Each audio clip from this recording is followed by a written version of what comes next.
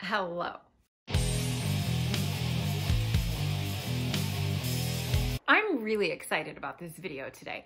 I do all kinds of TBR videos on my channel. The series I plan to read monthly TBRs, my physical TBR owned shelf, all kinds of things. But I've never talked about my TBR shelf on Kindle because your girl has a problem as of late. I never used to buy Kindle books until I was absolutely ready to sit down and read the book. But a couple things have changed that recently, okay? So my lovely friends in Patreon, we have a whole tab dedicated just to um, letting each other know when there are Kindle deals on books. And we all buy them, and it's a great, lovely time. We are a support group of friends who like to buy books.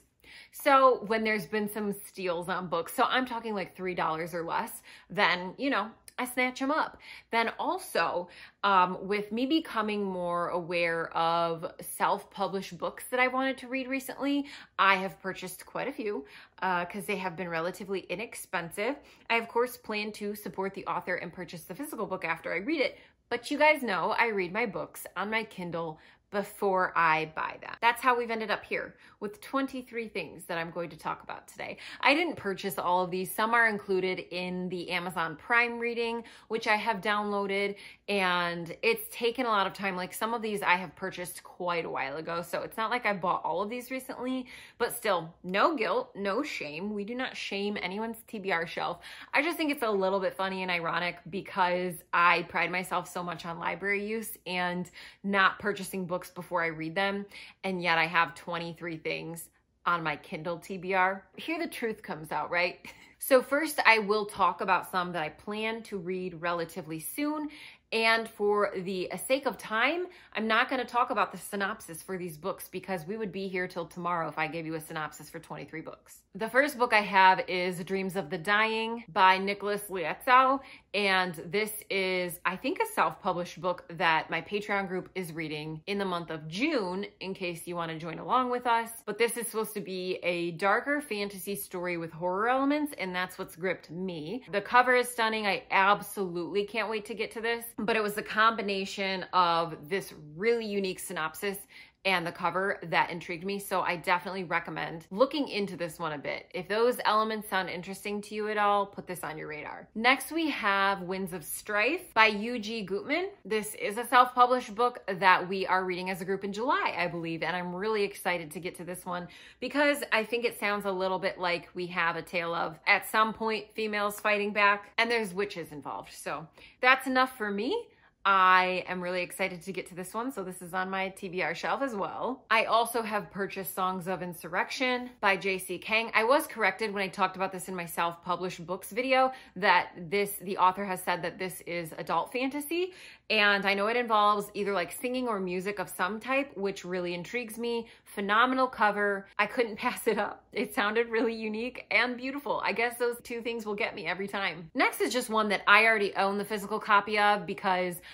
I like to have a combination of both sometimes, and this is one that I sort of want to just read a story at a time. This is Women Who Run with the Wolves, Myths and Stories of the Wild Woman Archetype by Clarissa Pinkola Estes. This is a collection of stories, I think, that sort of analyzes different mythology about women throughout history, and I think we'll have a lot of beautiful things to say about it. So I don't think I will ever just like sit down and read this all in one section. It'll just be sort of over several months at a time, probably. This next one I downloaded based on a recommendation from one of you guys on my self-published list, and that is Zeroth Law by Jeremy Hatch, which is Digitesque book number one. I will read you this.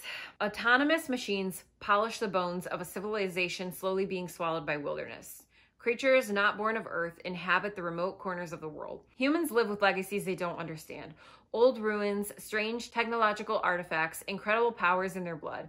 There are other worlds alongside this one, and death is not what it once was. So that's all I'm going to say about this like sci-fi fantasy, but I really like the cover and somebody was just raving about this one, so I downloaded it to add to my collection. Next is one I really want to prioritize, that is The Ember Blade by Chris Wooding. I know there's been a bit more buzz about this recently, so when my friend Merphy, who I'm sure you guys all know, she was telling me about it as she was reading it and how much she loved it. And just the way that she described it from before she was even finished, I was like, I need to buy this book. So I bought it right away based on her recommendation. And it's one that I'm very excited to get to. A Land Under Occupation, A Legendary Sword, A Young Man's Journey to Find His Destiny. So I don't know if we're going to find like a, a chosen one trope here or what, but I swear I heard it's like a more modern type of book to read if you love The Lord of the Rings, which like obviously your girl does, so I'm excited to read this. Next, I have downloaded The Knife's Edge by Matthew Wolf, which this is the first book in a fantasy series. And this one hooked me because, well, first of all, I loved the covers for them, which I'm pretty sure I found out about this through Petrik as well. It says, when legends come to life, the world trembles from a single name, Ronin. Once heroes from a different age, they wield elemental powers, wind, water, fire, stone, forest, sun, moon, flesh, and metal. At the same time, a young man discovers his best friend with a sword in her stomach and dark wings sprouting from her back. So like all of that sounds awesome because I love elemental magic, but also she's getting wings. Like what's going on here? sounded interesting to me. Now, one that I've picked up very recently because of a Kindle deal is The Bone Shard Daughter by Andrea Stewart. A lot of us in Patreon, I think, picked this up as well. And my friend Angela from Literature Science Alliance was talking about it being an enjoyable read that I probably would like. And I'm always looking for things dealing with bone magic and maybe something a little bit more on the edgier or creepier side that has almost horror-like aspects. I don't think this one's horror at all, but just when I think of like bone magic, it gives me a creepier vibe. So that's kind of what I was going for. And I plan to read this like in the middle of other dense fantasy. Then we have one I saw on Holly's channel from Holly Hearts Books. That is The Ranger of Marzanna by Jon Skovron. I don't know anything about this. I'm not even gonna read the synopsis and try to pretend that I do. I simply know it's an adult fantasy that has horror aspects from my understanding and it's got a bomb cover and we can all appreciate that. So that was enough for me to click purchase when it was $2. I could not pass it up. And I really need to own the physical copy of this book like yesterday. On my self-published video, I got a ton of recommendations for this one, and that is Rise of Gods, Paternus number one by Dirk Ashton. It says, American Gods meets the Avengers and Supernatural meets the Lord of the Rings. Paternus combines myths from around the world in a modern story of action and, intrigue that is urban fantasy on the surface, but so much more at its core. Here's the thing that intrigued me. I generally don't like urban fantasy, but everybody suggested this one and I've heard really good things. And it has over a four star average rating on Goodreads, so I thought I would give this one a try to see if there is some type of urban fantasy that I do enjoy. Then we have the Atlas 6, which I cannot remember who recommended this. It might have been Olivia from Olivia Reads a Latte. This is by Olivia Blake. It's about this society of caretakers of lost knowledge from the greatest civilizations of antiquity, a secret society of magical academia. So I don't really know more than that. It's supposed to be an adult fantasy of like a magical school, secret society type, and, and the deal was sealed. Sign me up for that. Magical school setting is one of my favorite things ever. And if it's like dark academia, I am there for it. Hello, Secret History is one of my favorite books of all time. Oh, one I've owned for forever that I really have been meaning to get to is Ashes of the Sun by Django Wexler. So I really don't know anything about the plot of this. Stunning cover, and I've heard good things. I've been wanting to read it for some time now. I've been wanting to read a lot by this author for some time, so I need to prioritize this soon, clearly. I guess we're getting into the section of books that I've owned for a while. So another one that I purchased a long time ago is Along the Razor's Edge by Rob J. Hayes. I'll spare you guys because I talk about this all the time. It's been so on so many lists and TBRs. I'm getting to it this year, friends. Don't you worry. I'm not getting to this whole list this year. There's no way. But I'm getting to this one this year. I'm at least giving it a try. We also have We Are the Dead by Mike Shackle, which I talk about all the time as well. So I have to get to this one in 2021 as well, because uh, these are the section of books now that I have owned for at least a year. Similar to We Ride the Storm by Devin Madson. So really don't know much about all of these. They're just adult fantasies that sounded interesting at some point or another. So I've added them to my collection. Solace Lost, I think came by recommendation from Holly's channel, or at least that's where I found out about it as well.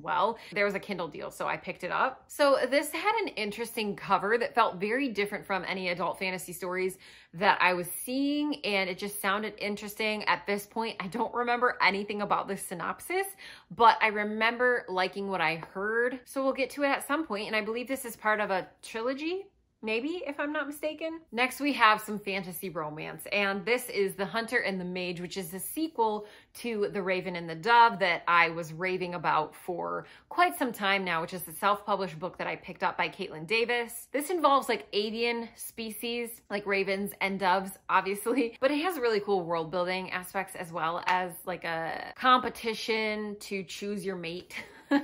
and it's it's a romance that I really enjoyed, this young adult fantasy story. Then we have Air Awakens by Elise Kova. I have tried from this author in the past and not been head over heels in love with it, but these covers, man, these covers do it for me.